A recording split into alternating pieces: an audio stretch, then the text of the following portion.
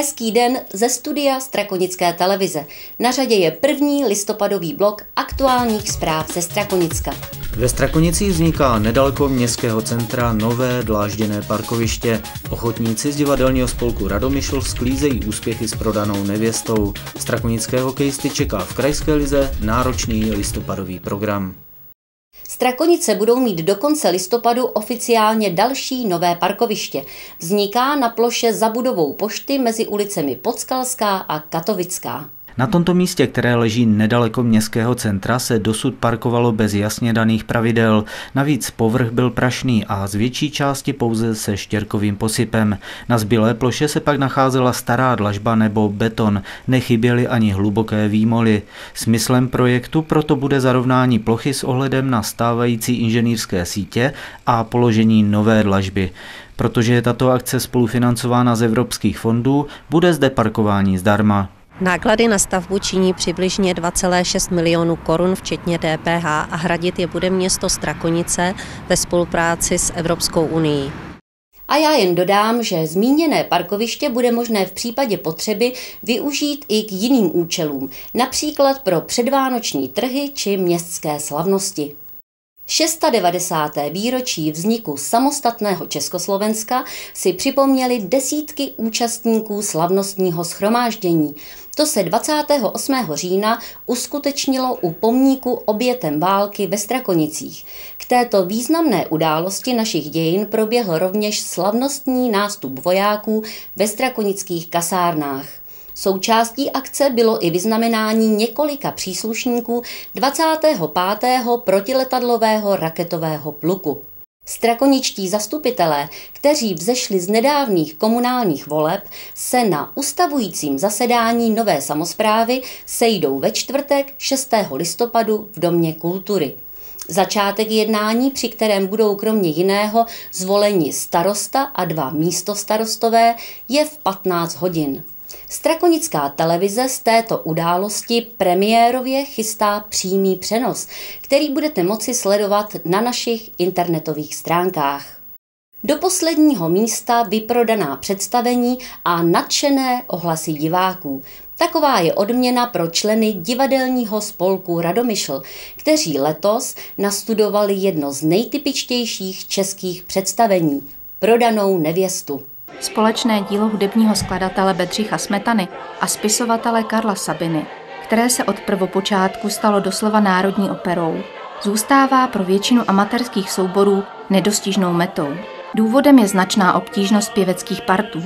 Přesto se divadelníci z jeho české radomyšle do nastudování Smetanovy opery pustili a vybrali si třetí verzi tohoto díla z roku 1869, v níž se ještě objevuje mluvené slovo, které slavný skladatel už o rok později nahradil zpívanými recitativy. Z hlediska uh, zpívání to je asi nejtěžší věc, kterou jsme tady kdy dělali, to musím říct otevřeně. Uh, zkoušeli jsme to tři čtvrtě roku a uh, dá dohromady ty pěvecké čísla je opravdu nejtěžší. To mluvené slovo samo o sobě problém není, ale, ale ty písně jsou fakt těžký, náročný, i když krásný a snad ten výsledek za to stál. Na studování prodané nevěsty po jeho Česku, jak zní podtitul Radomyšlského představení, si v průběhu deseti měsíců, kdy probíhaly zkoušky, vyžádalo značné množství energie a organizačních schopností. Vždyť do přípravy se zapojili prakticky všichni z bezmála 50 členého divadelního spolku, od představitelů hlavních postav přes zboristy až po kostymérky a techniky. Mě vůbec nemuseli přesvědčovat, já jsem šla okamžitě. Jakmile se řeklo, že bude prodaná nevěsta, tak to je prostě taková možnost, která se málo kdy opakuje. Málo kdo má tu možnost si prodané nevěstě zahrát, takže já jsem byla ráda, že ta možnost je a vůbec jsem neváhala. Pouze nadšení ovšem nestačilo. Toho si byl vědom i hrající režisér divadelního představení a dlouholetý vedoucí sboru svatého Martina Richard Semiginovský. Největší úskalí asi bylo přeci jenom některé árie a trošku upravit, eh, jak co se týče tempově, tak i třeba, tak i třeba eh, vejšky, takže jsme let kde třeba zde transponovali, ale a upravit to tak, aby nám to šlo vůbec jako technicky, technicky provést, přeci, protože přeci jenom nejsme profesionálové. Že? Příběh o lásce Jeníka a Mařenky, které brání dávný závazek mařenčiných rodičů, sehráli ochotníci z Radomyšle dosud čtyřikrát. Po každé v místní Sokolovně a vždy s velkým úspěchem u publika. Diváci to tak nějak přijali, až se, ač jsem to ani tolika nečekal, že opravdu, protože přeci jenom prodaná nevěsta je prodaná nevěsta, ale ku podivu zatím reagují všichni docela kladně. Kvalita perfektní, vynikající. Richard je dokonalej, obrovsky se našel i Luboš v roli e, Vaška, to prostě mu sedlo. Tereska Pěvecky je nad náma nadšemační a sebe hodnotit nebudu, to musí někdo jiný, to je jasný. Prodaná nevěsta v podání divadelního spolku Radomyšl by se neměla omezit jen na domovskou scénu. Například na jaře příštího roku se ochotníci chystají vycestovat do nedalekých Strakonic, kde by měli sehrát představení pro školy. A další plány do nové sezóny? Uh, to je zatím na mě hrozně brzo. A vlastně něco tak nějak v hlavě mám, ale zatím to ještě ne, nechci ani říkat veřejně, ještě to nikdo neví. Neobvyklým způsobem se ve starém Dražejově u Strakonic podařilo odhalit nelegální pěstírnu konopí. Poslední říjnovou sobotu ráno nejprve k ohlášenému požáru jednoho z neobývaných domů vyjeli profesionální a dobrovolní hasiči. Požár, jehož ohnisko bylo na půdě, se podařilo zlikvidovat za necelou hodinu. Při ohledání místa činu však byla nalezena pěstírna konopí. Policisté na místě zajistili bezmála 500 kusů požárem ohořelých rostlin. Případ je nyní v šetření. Sedm desítek vojáků ze Strakonického 25.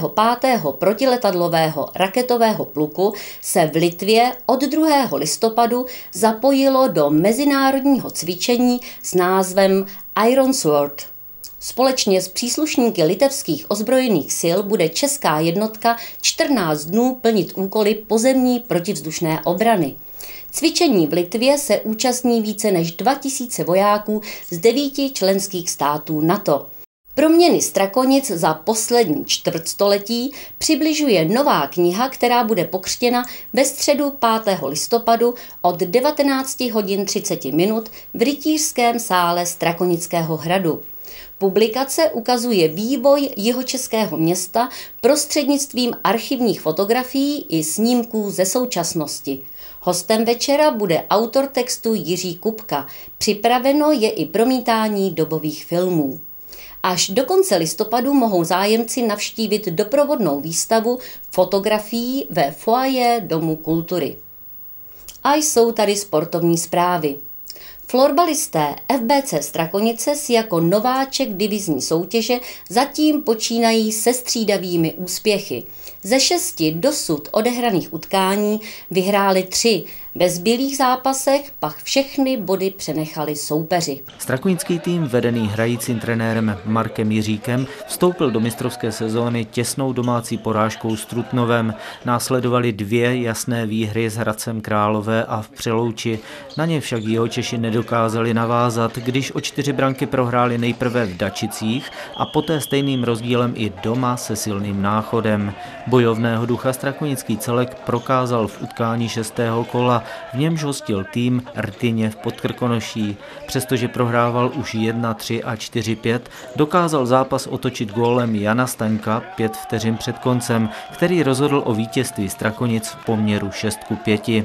Strakonickému týmu nyní náleží průběžná sedmá příčka, za sebou však již má utkání se třemi vedoucími celky. Z hlediska střelecké úspěšnosti patří k nejlepším hráčům týmu Marek Jiřík s 11 kanadskými body a Karel Šavrda s Janem Staňkem, kteří si připsali bodů 9. V sobotu 8. listopadu čeká strakonický tým Jihočeské derby. V Písku se utká s tamnějším FBC. Cesta strakonických házenkářek českým pohárem letos skončila ve třetím kole. V domácí hale jeho Češky narazili na interligovou Slávii Praha a prohráli výrazným rozdílem 11 ku 40.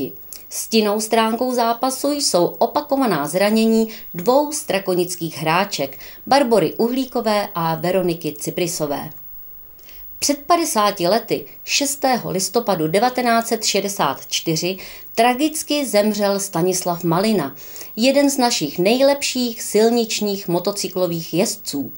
Stanislav Malina ve strakonické firmě ČZM působil nejprve jako mechanik a zajížděč prototypů, aby později na strojích této značky začal závodit. Během sportovní kariéry strakonický jezdec dobil 26 vítězství a získal čtyři tituly mistra Československa. Paradoxem je, že Stanislav Malina zemřel v pouhých 38 letech při běžné cestě, když se na sériovém motocyklu vracel do dílny.